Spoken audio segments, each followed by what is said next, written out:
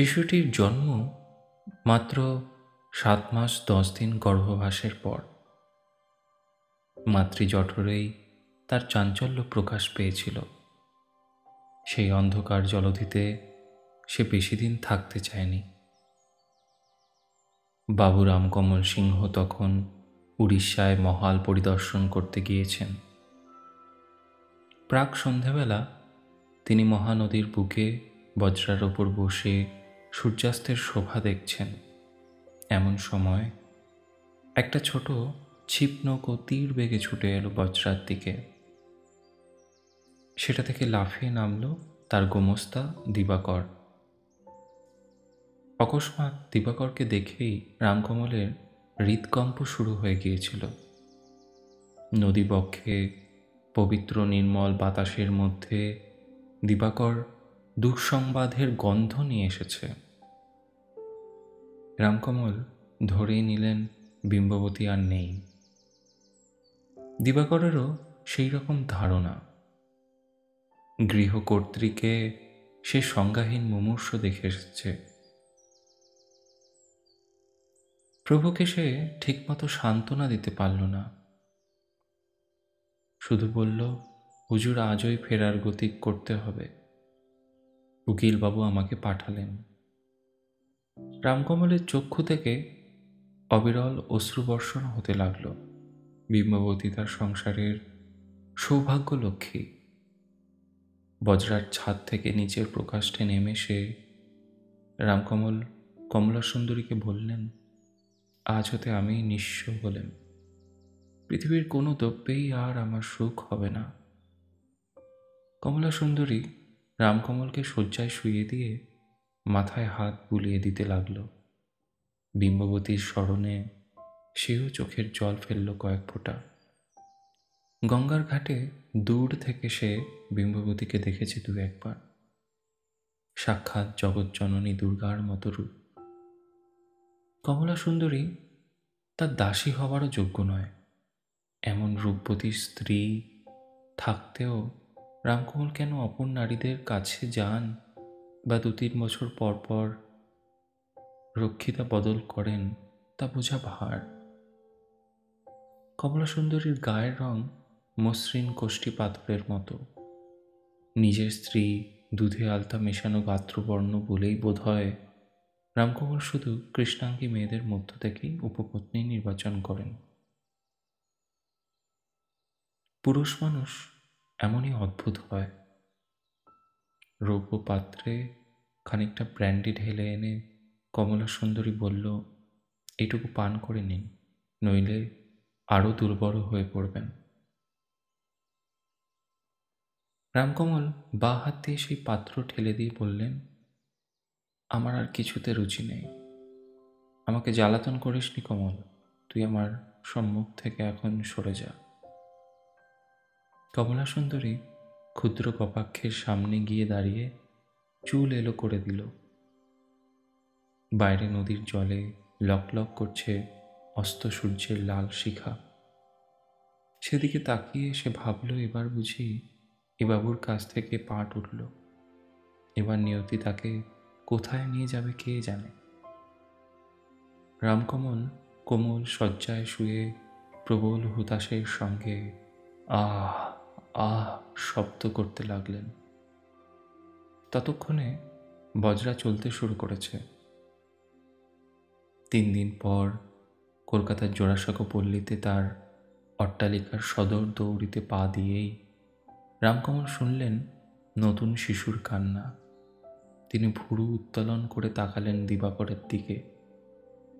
দিবাকরও বিমূর বিম্ববতীর রোগ যন্ত্রণা যে আসলে প্রসব বেদনা তা সেও জানত না।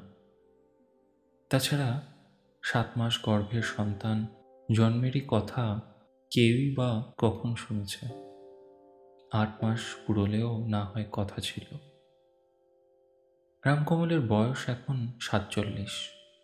পনেরো বছর আগে তিনি বিম্ববতীকে বিবাহ করেছিলেন, তার তৃতীয় বিবাহ। এর আগে তার দুই স্ত্রী মারা গেছে নিতান্ত বালিকা বয়সে। প্রথমা স্ত্রী লক্ষ্মীমণিকে রামকমলের একটু একটু মনে আছে। কিন্তু দ্বিতীয়া স্ত্রী হেমবালার মুখখানিও তার মনে পড়ে না এখন। বিম্ববতী নতুন বধূ হয়ে বাড়িতে আসেন ন বছর বয়সে। তখন এ বাড়ির চেহারা অবশ্য অন্যরকম ছিল। বিম্ববতী আসার পর এই সিংহ পরিবারের শ্রীবৃদ্ধি ঘটতে থাকে।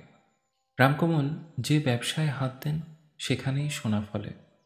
বিম্ববতী এই সংসারে এত সমৃদ্ধি এনে দিলেও একটা সন্তাপ সর্বক্ষণ ছিল তার মনে।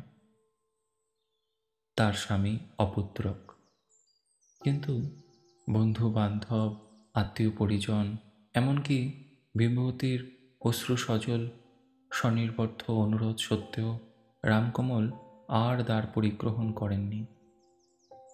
রামকমল লাফিয়ে উঠতে লাগল সিঁড়ি দিয়ে। দোতলায় সিঁড়ির মুখে তার বাল্যবন্ধু ও আজীবন সুহৃদয় বিধুশেখর দাঁড়িয়ে। কার্যোপলক্ষে রামকমল প্রবাসে গেলে বিধুশেখরই এ গৃহের রক্ষণাবেক্ষণের ভার নেন। বিধুশেখর একজন দক্ষ আইনজীবী, অতি সূক্ষ্মতার বুদ্ধি, হৃদয়খানি সমুদ্রের মতো বিশাল। এই বন্ধুর ওপর দায়িত্ব নষ্ট করে রামকমল নিশ্চিন্ত থাকতে পারেন সব সময়। রামকমল জিজ্ঞেস করলেন, সব শেষ? বিধুশেখর বন্ধুকে আলিঙ্গন করে বললেন, তুই এসেছিস? আর কোনো চিন্তা নেই। আগে হাত মুখ ধো, পরে সব শুনবি। রামকমল ব্যগ্রভাবে বিধুশেখরের মুখের দিকে তাকিয়ে বললেন, আগে বল, বিম্ববতীকে আর দেখতে পাবো কি না? প্রায় আলিঙ্গনাবদ্ধ অবস্থাতেই দুই বন্ধু এসে দাঁড়ালেন বিম্ববতীর শয়নকক্ষের দরজার কাছে। বিরাট পালঙ্কের ওপর বিম্ববতী চোখ মুদে শুয়ে আছেন চিত হয়ে। করতল দুটি বুকের ওপর প্রণামের ভঙ্গিতে যুক্ত।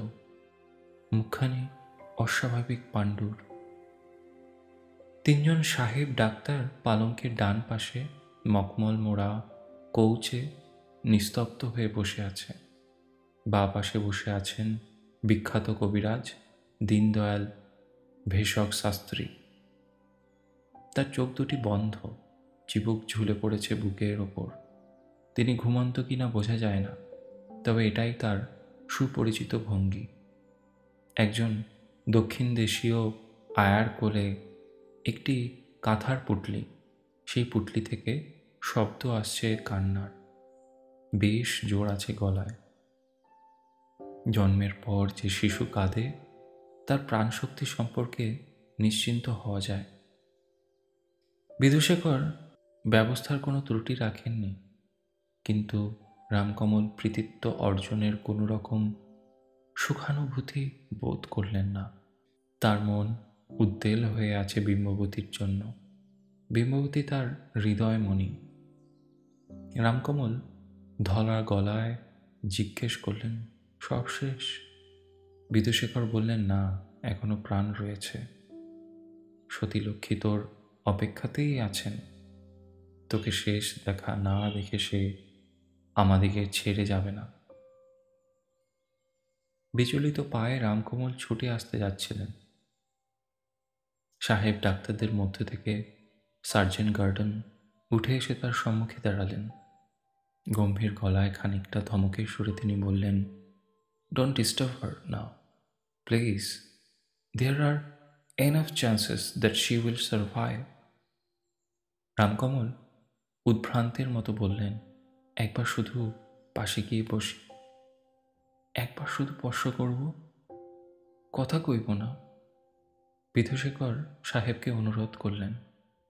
সার্জেন্ট গর্ডন সরে দাঁড়িয়ে তার জেব থেকে সোনার ঘড়ি বার করে দৃষ্টি নিবদ্ধ করলেন সেই দিকে রামকমল পা থেকে নাগড়াজোড়া খুলে ফেলে নিঃশব্দে গিয়ে দাঁড়ালেন স্ত্রীর পাশে।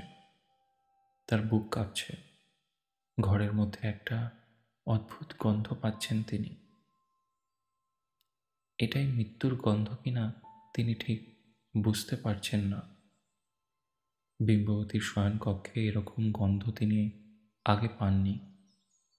বিম্ববতীর ললাটে তিনি হাত রেখে আরও চমকে উঠলেন, কি ঠান্ডা প্রতিশ্রুতি ভুলে গিয়ে তিনি ধরা গলায় বলতে লাগলেন, বিম্ব বিম্ব, একবার চোখ চলে চাও